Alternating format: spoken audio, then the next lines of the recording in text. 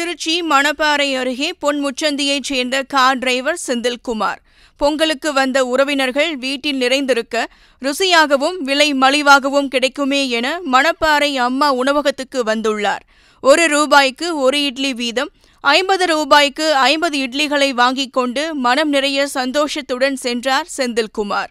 ஆளுக்கொரு தட்டில் இட்லிகளை வைத்து சாம்பாரை ஊற்றி சாப்பிட ஆரம்பித்தனர்.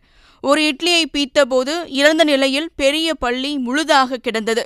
அதிர்ச்சியில் உறைந்து போன செந்தில்குமார் பின்னர் மொபைல் போனில் வீடியோ எடுத்து சமூக வலைதளத்தில் பதிவிட்டார். எட்டரை மணிக்கு அம்மா உணவகத்தில் ஐம்பது இட்லி பார்சல் வீட்டுக்கு சாப்பிட வாங்கிட்டு வந்தேன்.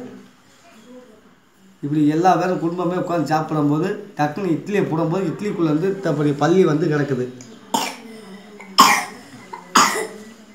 இதனால குடும்பத்துக்கு எதுவும் பாதிப்பு வந்தால் அவங்கள நான் சும்மா விட மாட்டேன். இதுக்கு நீங்கள் வந்து இதுக்கு என்ன அதுன்னு ஆராய்ந்து தக்க நடவடிக்கை எடுக்கணும் எம்ஜிஆர் பிறந்த நாளில் அம்மா உணவகத்தில் வாங்கிய இட்லியில் பள்ளி இருந்ததால் மக்கள் அதிர்ச்சி அடைந்தனர் மணப்பாறை நகராட்சி அதிகாரிகள் இது குறித்து விசாரித்து வருகின்றனர்.